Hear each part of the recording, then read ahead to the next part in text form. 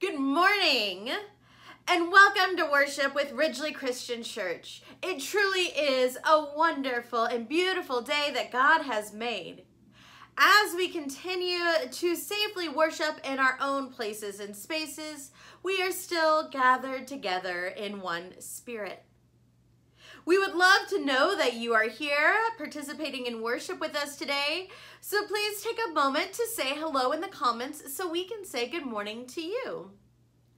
And if you feel comfortable, I invite you to share uh, this worship experience. If you're joining us on Facebook, share it to your own Facebook page as a form of sharing the good news with others.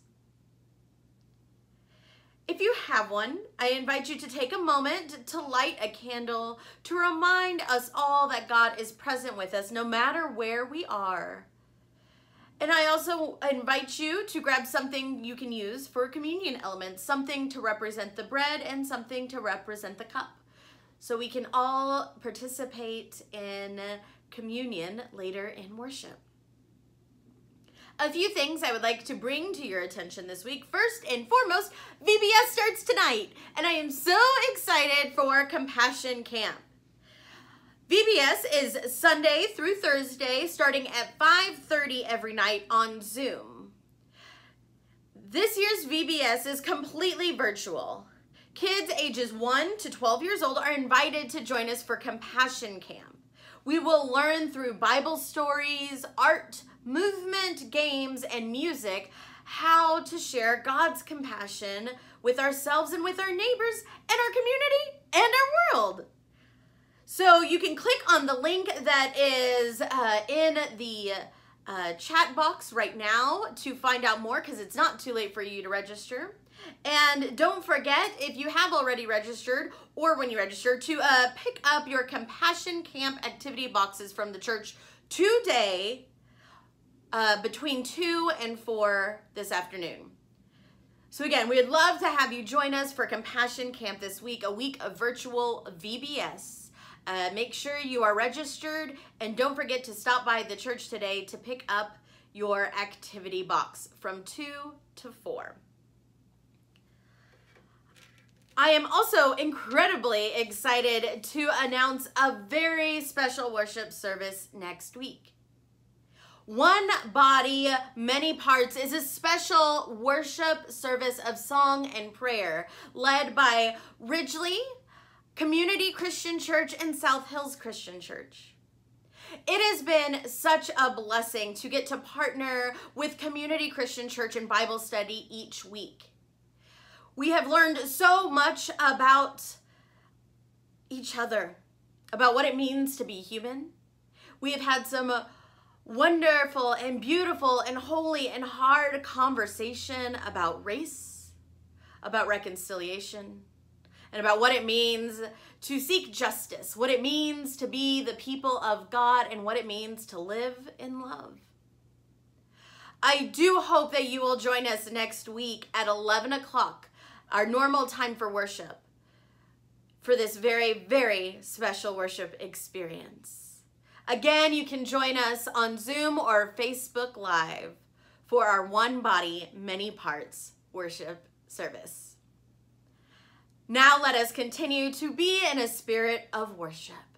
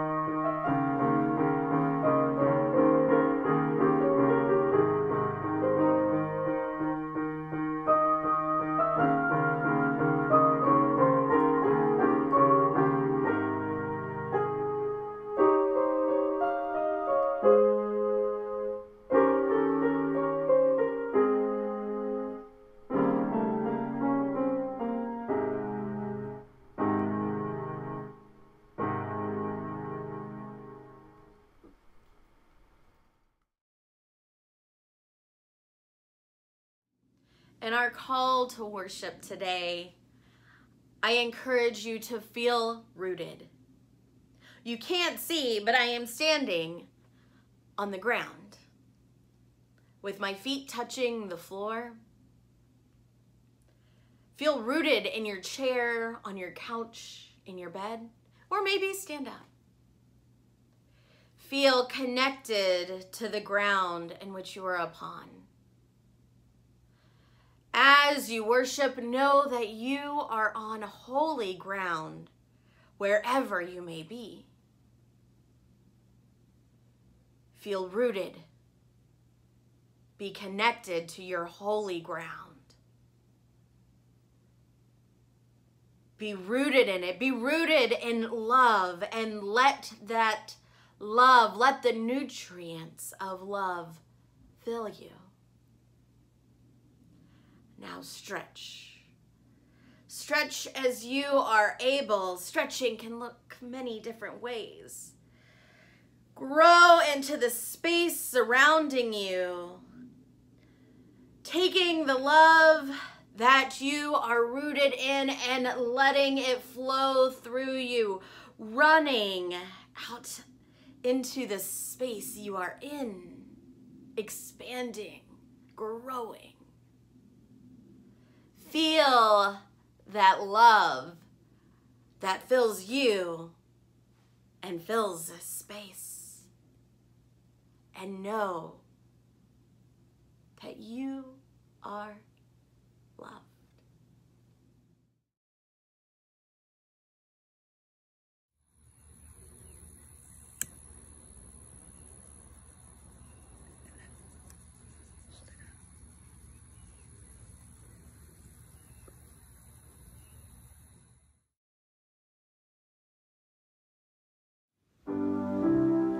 Will you please join me in singing God of Grace and God of Glory?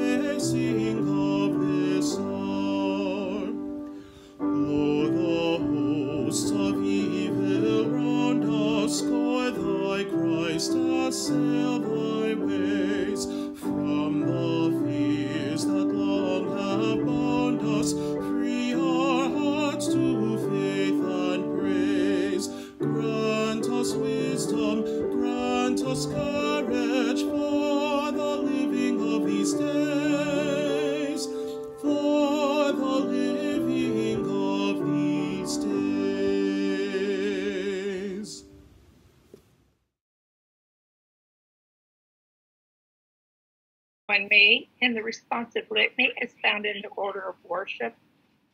Sometimes, God, we try to and stop others from doing what you call us to do. We interfere with other people's work for justice and righteousness, and we hamper their work for good in our world. When we put up stumbling blocks in front of ourselves and others, Forgive us, God, and help us to clear them away. Sometimes we cannot see what is in front of us. We put ourselves in the other way and do not see the present in our world. When we put up stumbling blocks in front of others and our, ourselves. Forgive us, God, and help us to clear them away. Sometimes we are at risk of losing our saltiness, the very essence that makes each one of us unique and makes us who we are, your special and beloved children.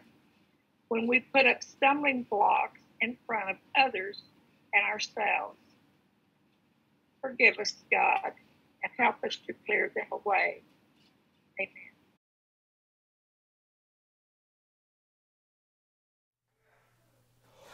Glory be to the Father and to the Son and to the Holy Ghost, as it was in the beginning, is now, and ever shall be, world without end.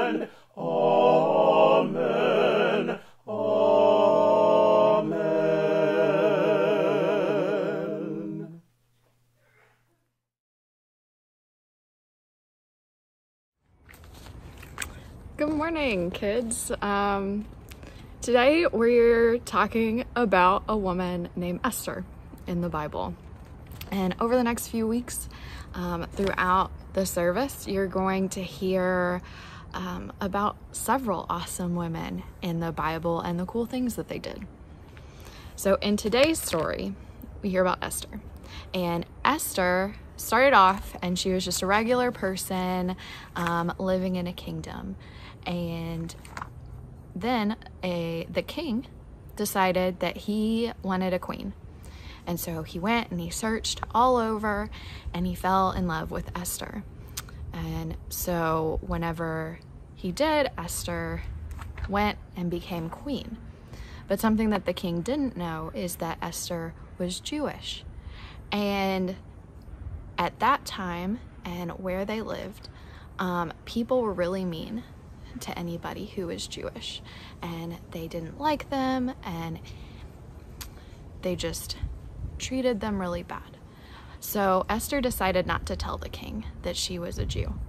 And so she went and she became queen, and they lived and were having a good life. And then one day, a politician decided that he really didn't like the Jews. So he wanted all of them to die. And so he went to the king and he told him his thoughts, and the king didn't really have big opinions on it. And so he decided that, sure, whatever, that's fine, and let the politician do what he wanted. And so Esther, whenever she found out about this, was so conflicted because nobody knew that she was a Jew, but all of the other Jewish people's lives were going to be at risk. Um, and so she was she was really just unsure what she was supposed to do.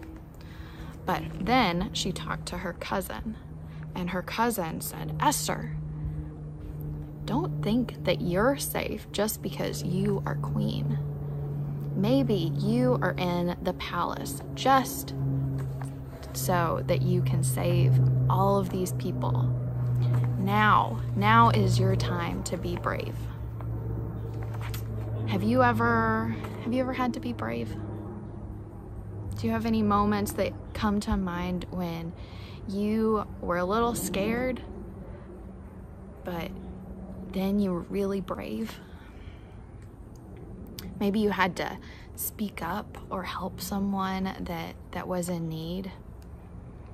What does it feel like when when you're faced with a really hard decision when it would be easier to to not do anything, but it's really important to to be brave? Is it kind of scary? Are you sometimes afraid? But what does it feel like to be brave and to help somebody? Does that feel good? Well, in our story, Esther, she got up all of her courage and she was still really scared, but she decided to speak up and say, This isn't right. She explained to the king that she was a Jew and how horrible this law that was going to allow Jews to die was going to be. And the king listened to Esther and heard what she had to say and put a new law in place so that the Jewish people were protected. So it was all because Esther spoke up that she saved a whole lot of people. Sometimes, no matter how scary it is, we have to speak up and say things things aren't right and that they might hurt others. And perhaps, like Esther, we're put in places so that because God knows that we can be brave and that we can speak up and that we can help our neighbors. Will you pray with me? Dear God, thank you for brave people who stand up for their neighbors. And thank you for giving us the strength to be brave, even when it's scary. Amen.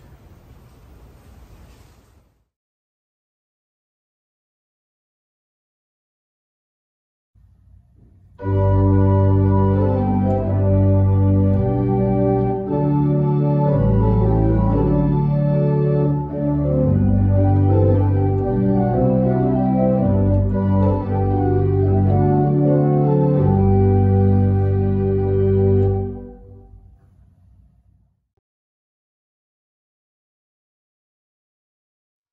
God, we gather. In Esther's time, gathering was dangerous, but the Jews did so against injustice. Seeing her people gathered gave Esther the strength to stand against death and genocide. We gather in the ways we can to honor a tradition of righteous, difficult truth telling that began before Christ. We speak up against racism, hate, and other injustices because perhaps we too were called to gather for just such a time as this. O God, hear our prayers, as you heard Esther and her peoples. Care for us at home, in essential spaces, and wherever we may be, that our prayers are heard. Amen. We are constantly asking for the generosity of the church. We continue to ask because it's important. We are the church, each and every one of us coming together. And this is a way for us to give and make that church be, to show the world around us what the kingdom of God looks like. So today I ask you again to be generous with your offerings, to donate to the church, so that we can continue to show the love and generosity that we have shown so far, so that we can continue to show up, show up and be with the people around us, help the people around us, and to do good just like Esther does for her mother in law, Ruth. You can give to this vision to help show God's love, either through check, you can send that directly to the church office, or by giving online at shelbygiving.com forward slash Ridglea. Thank you so much for your donation and the ways that you give, whether that is just monetarily or showing up and volunteering and doing good and justice that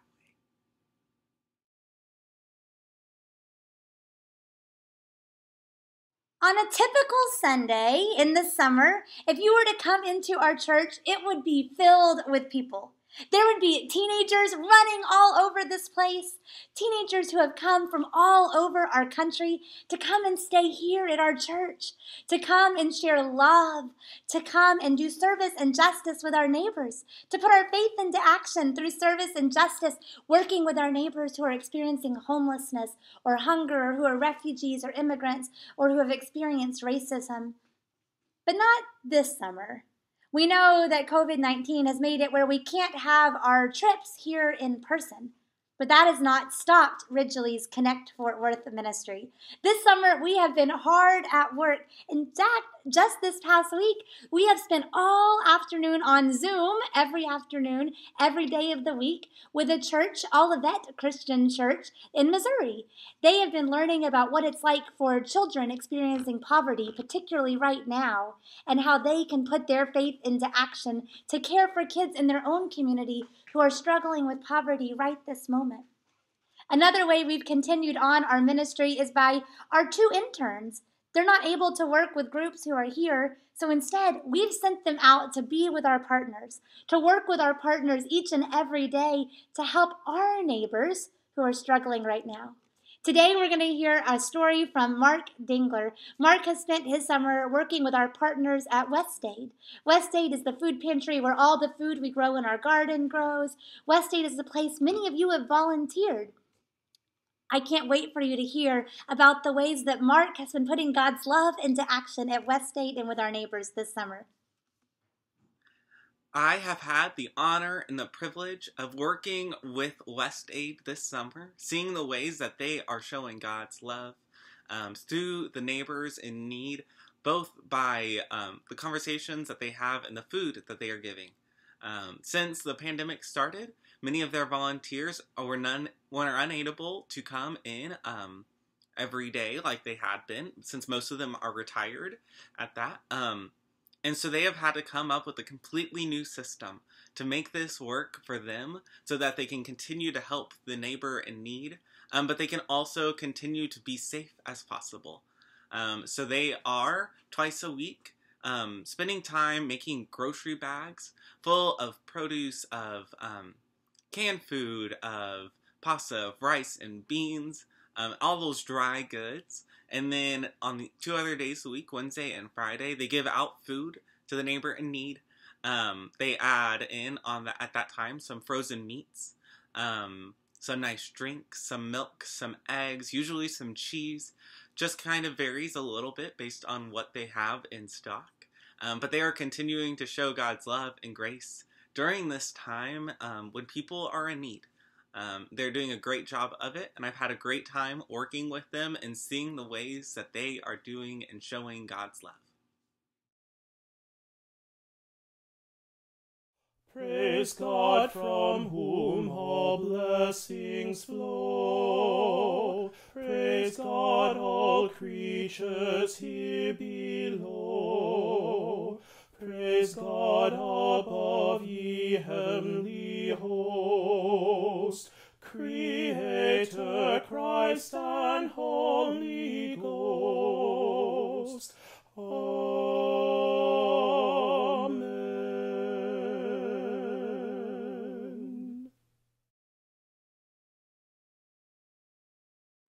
Church, please join with me in prayer today. Almighty God, we come before you with so many things on our mind and in our hearts.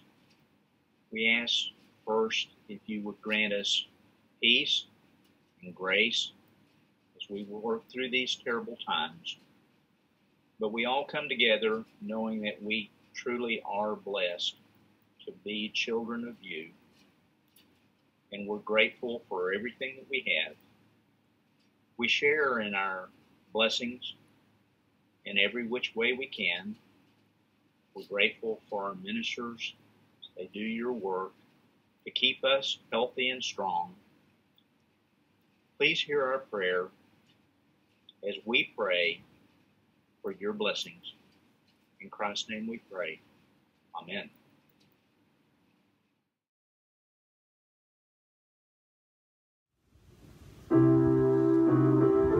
Will you please join me in singing What a Friend We Have in Jesus?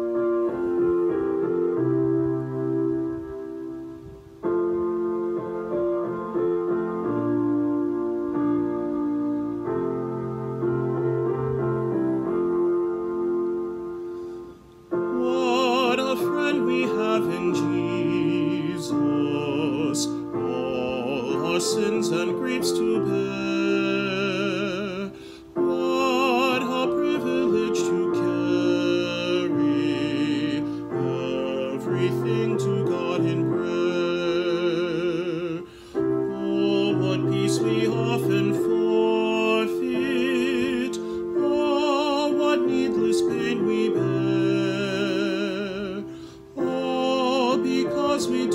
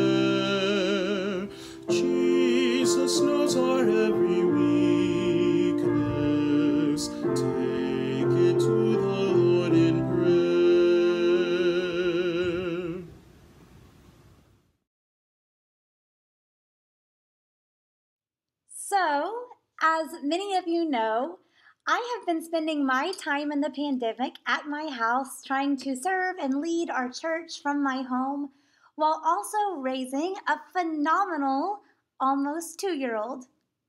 As you can imagine, this has been filled with moments of joy and fun and also filled with lots of moments of chaos and exhaustion. I've been thinking a lot lately about what does it mean to find calm, to find peace in the midst of chaos. A parenting tip someone gave me early on was that when your child is out of control, when they have kind of hit their upper limits and are overwhelmed, you can either join them in your, their chaos or you can invite them into your calm. You can join them in their chaos or you can invite them into your calm on my better parenting moments, when my son's little mind is overwhelmed and filled up, I will come and sit beside him and invite him to join me in my calm. I'll take some deep breaths. I might sing one of his favorite slow songs. Maybe invite him to come sit on my lap or have a hug. And eventually, every time, he leaves his chaos and comes to join me in my calm. I've been wondering if that's what God has been inviting us into.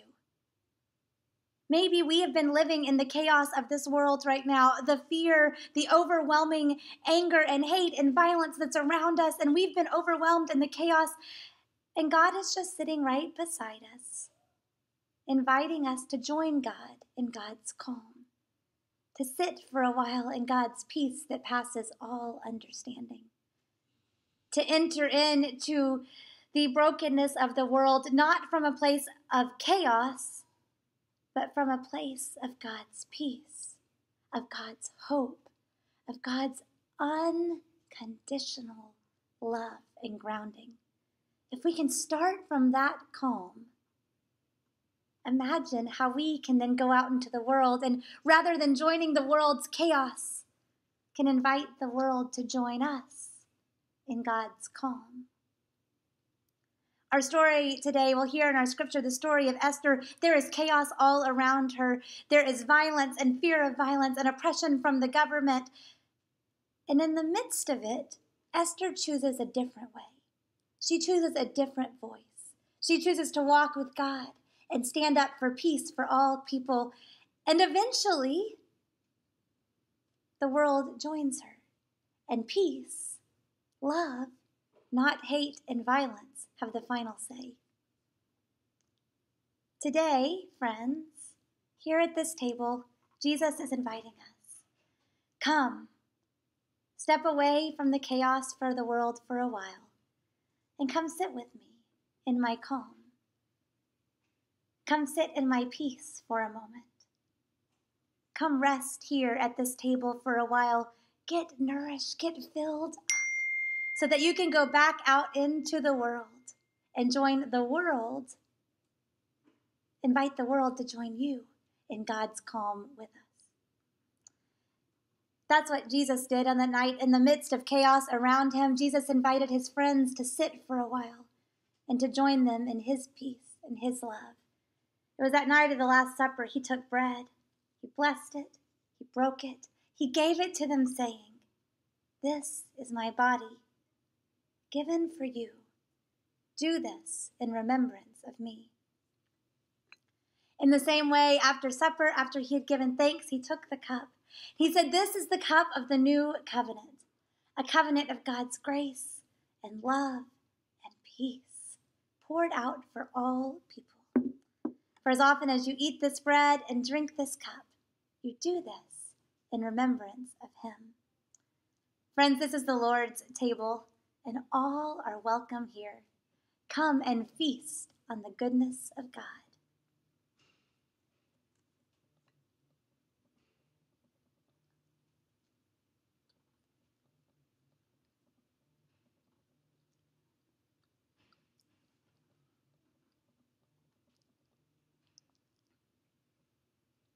Wherever you have taken communion, whatever elements you have used, God is with you and God loves you. and God fills you up with a peace that passes all understanding. In thanksgiving for that, let us turn now to God with the prayer that Jesus taught his disciples when he said, Our Father, who art in heaven, hallowed be thy name.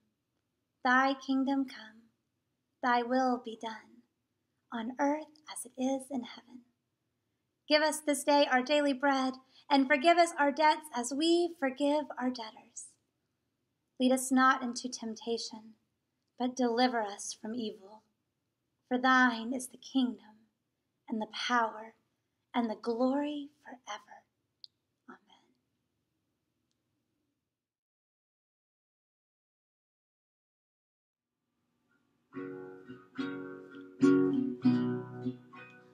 You were cold as the blood through your bones, and the light which led us from our chosen homes. Well, I was lost, and now I sleep, sleep the hours that I don't weep when all I knew was steeped in blackened holes. I was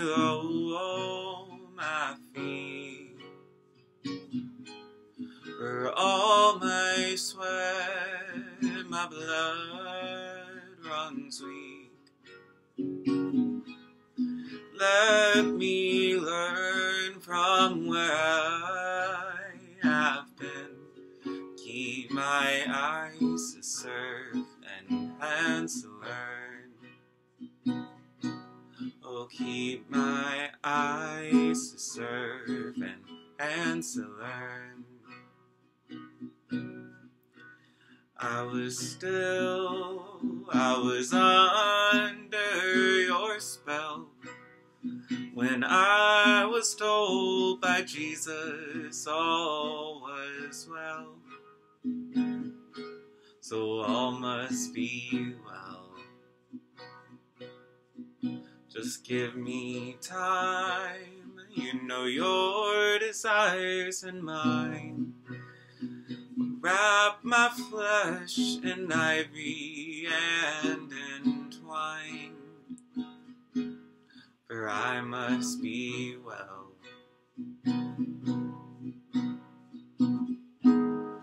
Keep the earth below my feet, for all my sweat, my blood runs weak. Let me learn from where I have been. Keep my eyes to serve and hands to learn. Oh, keep my eyes to serve and hands to learn.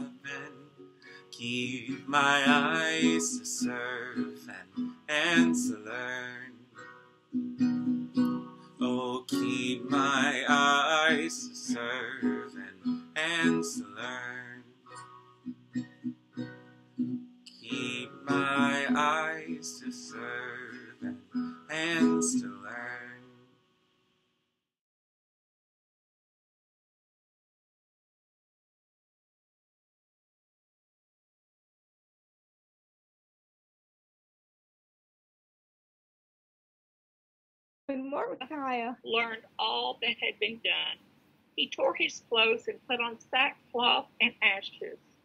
Then he went through the city, wailing with a loud and bitter cry. He went up to the entrance of the king's gate, for no one dressed in sackcloth was allowed to enter the king's gate.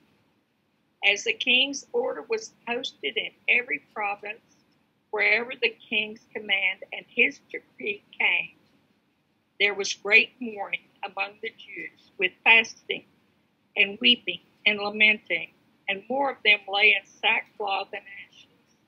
When Esther's maids and her eunuchs came and told her the king, queen was deeply distressed, she sent fresh clothes to Mordecai so that he might take off his sackcloth, but he would not accept them. Esther called for Hathach, one of the king's eunuchs, who had been appointed to attend her, and told him to go to Mordecai to find out the full story of what was happening. Hathach went out to Mordecai in the town square in front of the king's gate, and Mordecai told him all that had happened to him. He told him the exact amount of money that Haman had promised to pay into the king's treasury for the massacre of the Jews.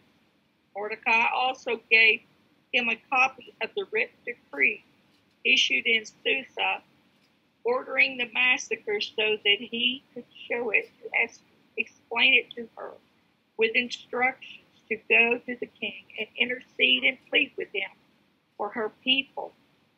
Hathach went and told Esther what Mordecai had said. Then Esther spoke to Hathach and gave him a message for Mordecai, saying, Everyone who works for the king here, and even the people out in the provinces, knows that there is a single fate for every person who approaches the king without being invited death.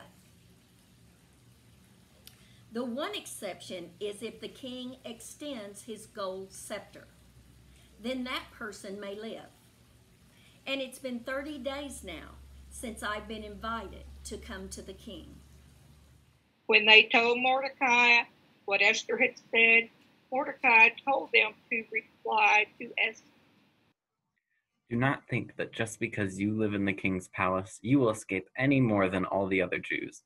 If you persist in staying silent at a time like this, help and deliverance will arrive for the Jews from someplace else, but you and your family will be wiped out. Who knows? Maybe you were made queen for just such a time as this.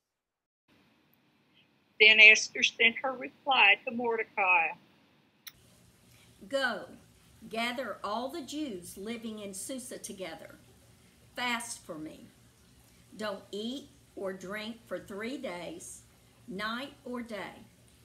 I and my maids will fast with you. If you will do this, I'll go to the king, even though it's against the law. If I die, I die. Mordecai left and carried out Esther's instructions. This is the word of God for the people of God. Thanks be to God.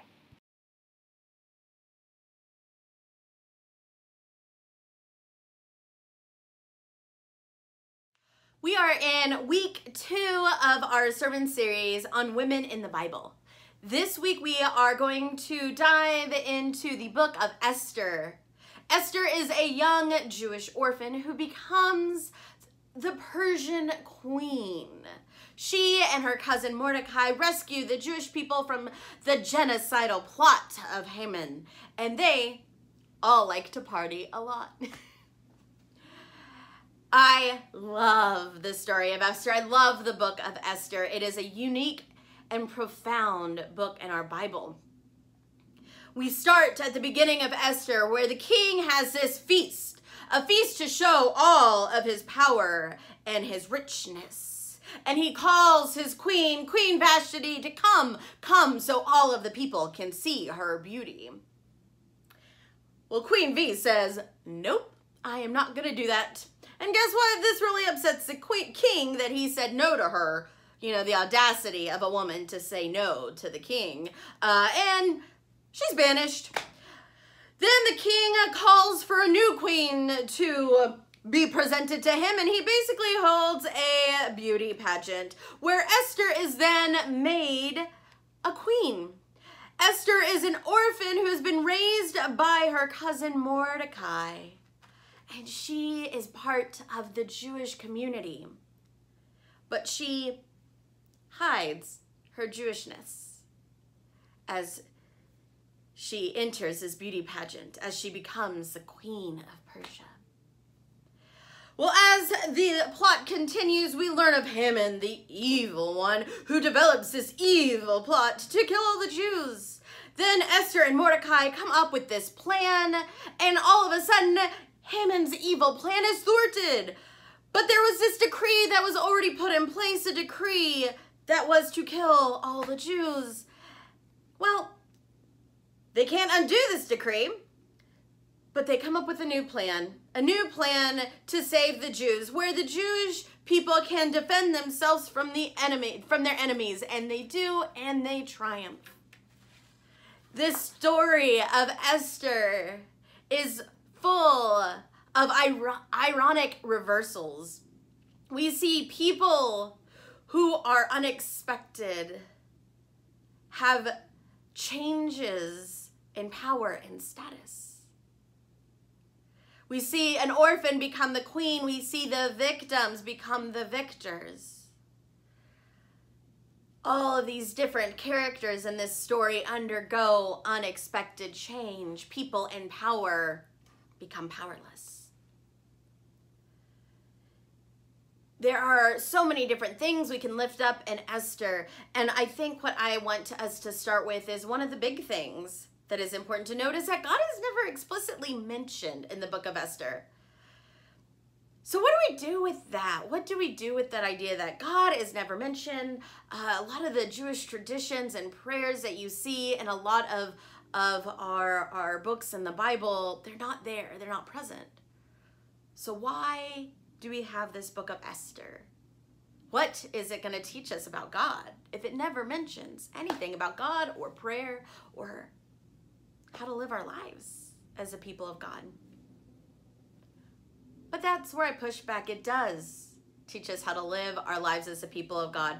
So even though God is never mentioned, Esther gives us an opportunity, an invitation, if you will, to look for God's activity and see how we are called to do the work of God to see, to recognize that God may be unseen and unacknowledged, but God is still working. God works through us as human instruments to ensure the survival of God's people. In the book of Esther, human action is the key to achieving God's purposes in the world. And I think that's a beautiful and wonderful thing. We also find some really morally complex, morally ambiguous characters in this story.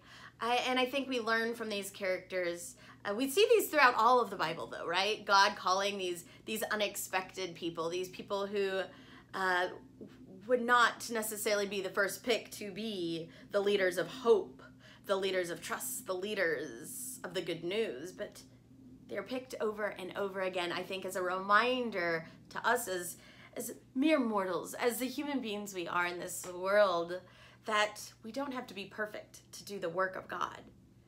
We do not have to be these righteous people to be the action of God's love in the world. So we learn all of these things from Esther. Such, such a book full of rich ideas and uh, thinking about the actions that we are called to. As we are in the middle of a sermon series on women of the Bible, I do want to lift up two of the main women who are named in this book. Uh, Queen Vashti. She says no. And she means no, regardless of the consequences. She is bold in her beliefs. Although she may not play a long role in this book, she plays an important one, setting the stage for being bold and for standing up for what you believe in. Then we meet Esther. Esther, who says these bold words of, if I die, I die. She says these words when she realizes that she has to save the Jewish community. She has to save her people. She has to speak up and go against the king. And it is a bold and dangerous thing for her to do. But she is brave and she knows it must be done. Both of these women teach us to be brave and to be bold, to stand up for our beliefs and also to take action.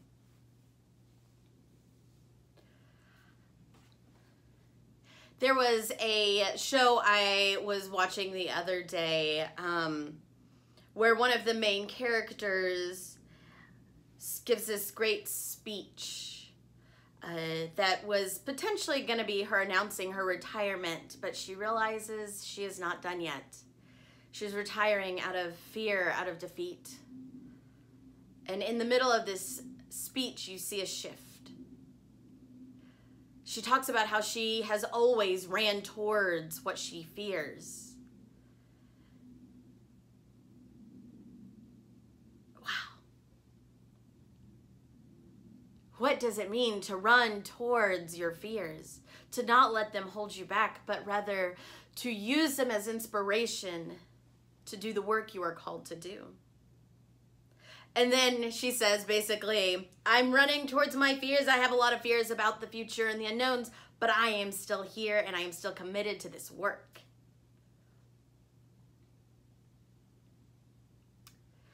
It's easy to live in fear or comfort or maybe even like self doubt, feeling like you're not enough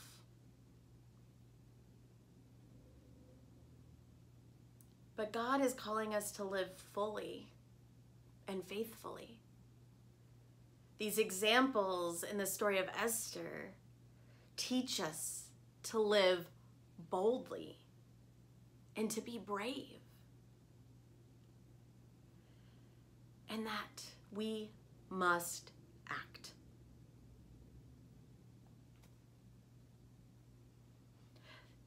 Probably one of the most famous verses in this story is Perhaps you were made for a time such as now. Maybe the time doesn't feel right. Maybe the setting is not what we expected. Maybe, but just maybe, we were made for this very time right now. We were made to live fully into the God, into the people, into the community that God is calling us to be part of, to do, to create. We are to do hard things. We are to seek God working in the midst of what can feel like a very hopeless time. I wonder, how is God encouraging you to be brave, to be bold, and to take action. I wonder, how can you stand up and say, Yes, the time is now? What are you being called to do in this very moment, to this very unexpected time that you are living in? Are you being called to say yes or maybe no to something? Maybe you are being called to stand up and to speak truth Maybe you are being called to do the very hard work that is anti racism work. Maybe you are being called to be a voice, an advocate for your community, for the people in your community. Maybe you are being called to respond to a need that you see. This week, some of our youth responded to a need they saw. They served at a night shelter and realized and wondered a while back, this was a while back, they saw this, they realized and wondered, what, what about bedding for people? Where do they get bedding from? And you know what they did? They acted. They collected bedding for human beings to have somewhere soft and comfortable and safe to sleep. And they donated it this week. And how beautiful is that to take action now? You don't always have to be the best. You don't have to always feel like the time is just right, but I tell you, the time is now to be brave and to be bold and to take action. God needs you now. God is calling you now to live out the love that is needed in this world, to take compassion, which is love and action, and live that out in your life and in your community. See the needs that are around you and respond. Hear the cries of the people. Know that the work is hard, but God is with you. Because you know what? You were made for a time as this. Be brave, be bold, and take action. Amen. I want to invite you to be part of Ridglea Christian Church. I want to invite you to intentionally say yes to being part of this community. Maybe you have been worshiping with us for a while. Maybe you stumbled across worship today. But I invite you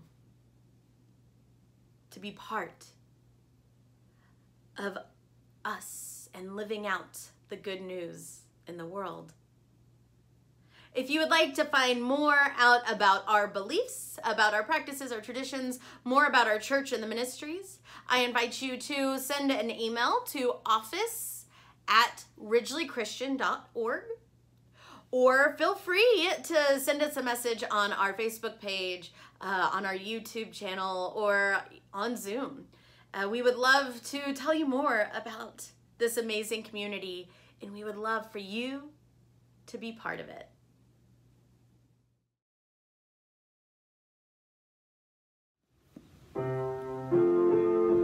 Will you please join me in singing My Hope is Built?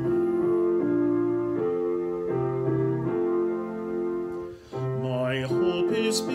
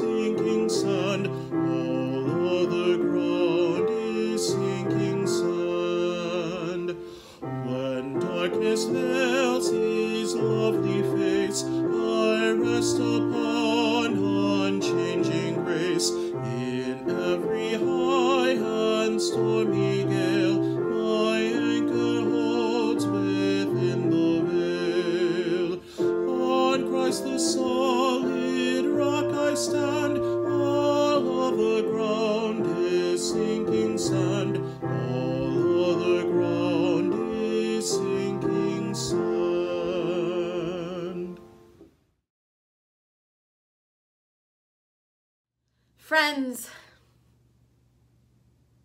you were made for a time as this. I wonder how is God working in your life and encouraging you to be brave and be bold and encouraging you to take action, to help fill this world with compassion and to live out the good news, not only in your life, but in the community and in the world. Be filled with the peace and love of God. Amen.